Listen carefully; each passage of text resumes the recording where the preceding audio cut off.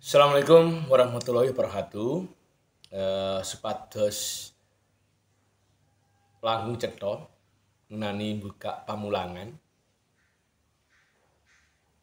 Menika panjenengan kedah wonten persiapan. Dados teng pamulangan mengajar menika kedah wonten eh, persiapan langkung rumiyin. Basa Jawane tata siaga. Lajeng tata laku ketika di dalam kelas. Persiapan utai tata siaga sepisan guru kedah menyiapkan materi. Ingkang badhe damel ngajar. Lah materi menika sejatosipun sampun wonten teng RPP. Pun sampe medal saking RPP, Nggih. Pramila kangge mahasiswa kula ingkang program micro teaching wonten semester niki, monggo sampeyan siapaken RPP SMP SMA saged ning semester ganjil. RPP SMP SMA semester ganjil. Sebab nopo? Benjing nawi sampean terjun teng lapangan PLP teng sekolahan praktek ngajar datang sekolahan menika kan wiwit uh, bulan Juli nggih menika kalebet semester ganjil. Nggih semester ganjil pramila supados mboten bolak-balik sinau ngenani materi. Iki mangke monggo sedaya mahasiswa ingkang program mata kuliah mikro teaching nggadahi RPP SMP SMA semester ganjil Nggih. Pun sampean pados RPP dhisik. Umpamane eh salah setunggal ingkang sampun angsal mangke saged dipun kopi kalian kanca kancane dipun sinaoni bareng. Syukur-syukur mangke pembagian materi pamulangan ketika eh praktek ngajar wonten kampus mikro teaching menika benten-benten. Sepatus menapa? Sampean ngerti materi sing bakal sampean ampu rikala praktek wonten lapangan. Atau semamane sampean materi nulis. Lajeng kancane materi maca. Kancane maneh materi nyimak, nggih. Nulis, maca, nyimak napa maling membaca, menulis, bicara, berbicara. Dados sakjane pembelajaran menika namung sekawan. Membaca, menulis, menyimak berbicara. Niki teng RPP sampun wonten. Senajan to materi ini tembang umumane. Umumnya kan tembang dipun lagu akan. Ini dalam per apa nggih? Pemulangan, pembelajaran wonten sekolahan menika sepisan wonten mendengarkan tembang.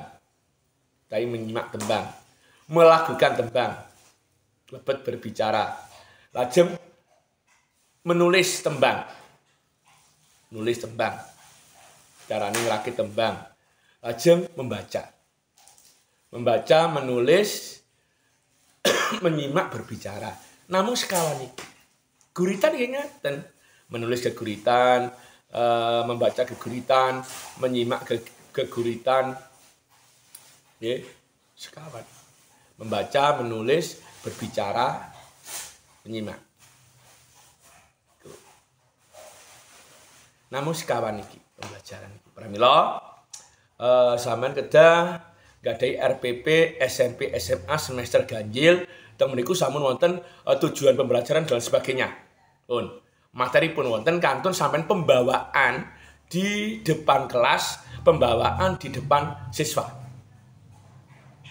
Kata nih, monggo dipun sepakati RPP semester ganjil SMP SMA. Pun Mangke milih, nggih ketika uh, tugas membuka pelajaran sampean milih, aku RPP Kiai, pertemuan ke iki. Nggih, sampean pilih. Sak samunipun uh, milih materi, materi pembelajaran ingkang dalem bikak uh, pasinaonan. Niku sampean tingali. Materi sak sak durunge sing sampean bakal ajarno sampean ulang materi nopo? Umumane sakniki sampean eh uh, dina iki materi nulis aksara Jawa. Nulis aksara Jawa. Berarti minggu kepungkur, mbok mono materi ini mendengar. Mendengar ini uh, ketika guru menjelaskan. Mendengar materi nopo mawon ngajeng minggu niki menulis cara nulis aksara Jawa ya apa. Ngaten nggih. Mbok menawa materi ini sandangan apa? Aksara Jawa. Aksara murda ing aksara Jawa. Nggih. Saged ketika pertemuan pertama guru menjelaskan menika siswa akan mendengar. Baru eh, pertemuan kedua siswa mangke saged materi menulis aksara Jawa. Dados satu materi menika biasanya dados kawan pertemuan. Satu materi aksara Jawa wonten empat pertemuan. Mendengar, menulis, membaca, berbicara. Ngaten nggih? Terus materi dina iki dingerteni ning uga sinau materi minggu kepungkur. Ada dua materi ketika sampean duweni tugas gawe uh, video buka pelajaran. Materi dina iki, materi minggu kepungkur. Pergi, paham ya? Setunggal siapkan RPP semester ganjil SMP SMA. Paham? Kaping kali uh, siapkan materi kanggo pamulangan. Damel video buka pelajaran. Ketiga, pahami materi pun materi sampai nih. Teng RPP wonten. Paham nggih? RPP semester ganjil SMA materi kedah siap wonten uh, praktek dateng kampus lajeng ugi sinau materi sadurunge materi sampai niki mang sama tinggal di RPP kangge napa? Teng buka pelajaran niku kan wonten penguatan materi minggu lalu. Lah niki butuhe sampean kudu paham materi sadurunge materi sampean niki kan materi minggu ini ku apa? Niki kudu paham. Untuk penguatan uh, apa? Materi minggu kepungkur biasanya menggunakan pertanyaan-pertanyaan, pitakonan-pitakonan sing kudu disab dening siswa. Nek jenis siswa iku iso ya berarti minggu kepungkur iku bener-bener nyimak materi pembelajaran. Nek siswa mereka mboten saged jawab, berarti pembelajaran minggu kepungkur mboten berhasil. Mboten berhasil kedah dipun kuataken malih. Dan pun cara menguatkan dengan pertanyaan melalui jaring mampu, maka dipun ulang malih kedik. Tenggene buka pamulangan. Ngaten nggih? Pun persiapan sak lajengipun eh niku wau. Sampai siapno pitakonan-pitakonan tentang materi minggu yang lalu. Minimal 4. Minimal 4. kangge penguatan. Nggih. Umpamane Minggu kepungkur Bapak paring pamulangan ngenani geguritan. Isiling pamulangan minggu ngenani apa? Geguritan. Nggih leres. Tapi mbak menawa uh, Kiki Nurvita bisa jelasno apa to tegesing geguritan. Ayo, uh, Kiki Nurvita, geguritan itu apa? Dijelasno. Nggih, bener. Lajeng uh, mana nih? Geguritan iku paugrane kaya ngopo? aturane geguritan kaya ngopo. Oh, nggih, beres. Nggih. Lajeng Khairul. Carane maca geguritan terus? Umpamane Khairul mboten saged jawab Jalino. Eh Dimas, dijangkepi uh, wangsulane Khairul. Ngoten nggih. Dados niki sama sabno pitakonan-pitakonan. Untuk persiapan membuka pelajaran. Kangge penguatan pembelajaran minggu kepengker. Lajeng uh, sak samunipun nyapaken pitakonan, sampean kudu paham tujuan pasinonan. Tujuan pembelajaran hari ini. Lan niku sedaya sampun wonten teng RPP. Oke. Pramila kedah ada RPP. Pun wonten. Tujuan pembelajaran satu, siswa bisa memahami arti keguritan. Dua, siswa bisa menjelaskan arti keguritan. Empat, siswa bisa membaca keguritan. Dan ini buatan diwaca yang diucapakan. Bocah-bocah, dina iki mengko bapak bakal paring pasinonan ngenani keguritan. Bapak paring materi keguritan supaya sampean kabeh ngerti apa to tegesing keguritan iku.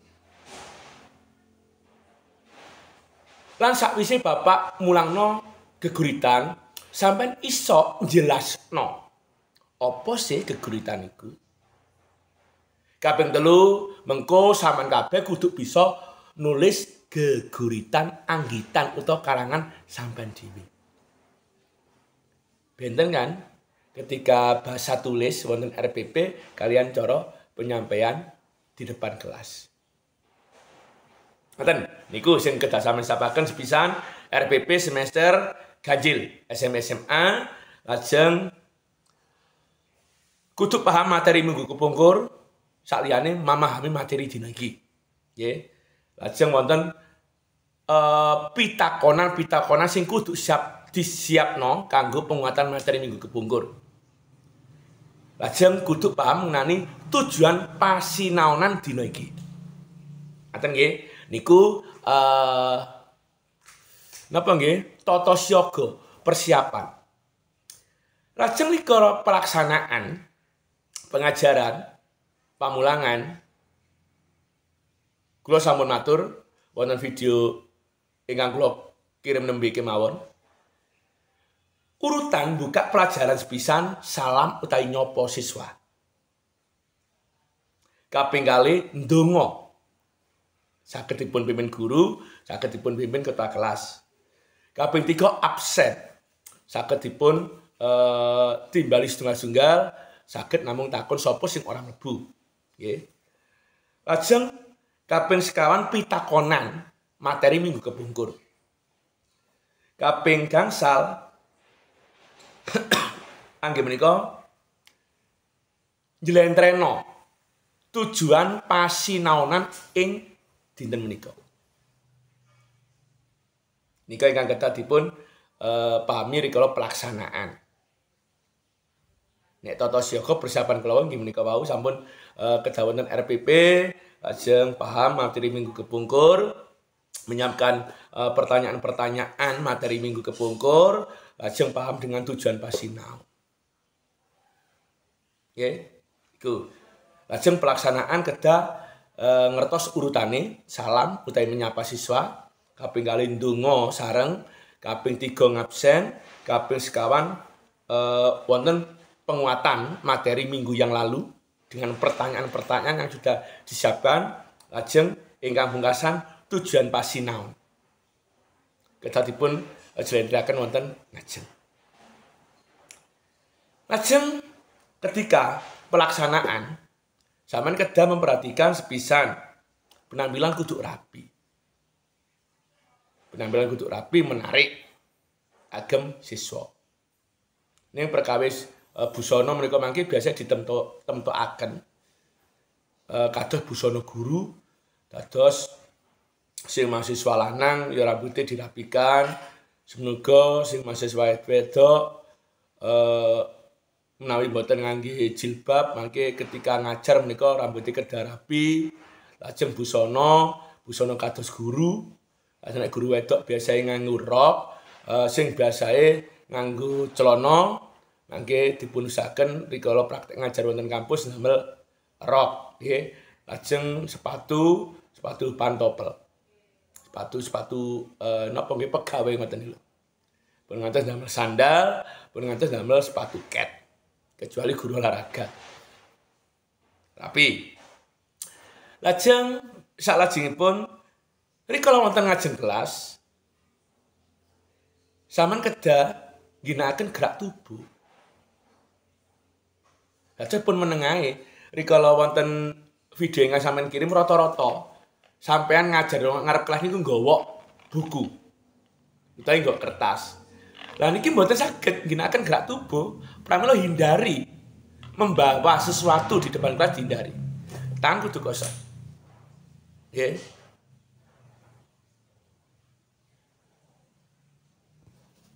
Sedap uh, video kita bermasalah sedap-sedap.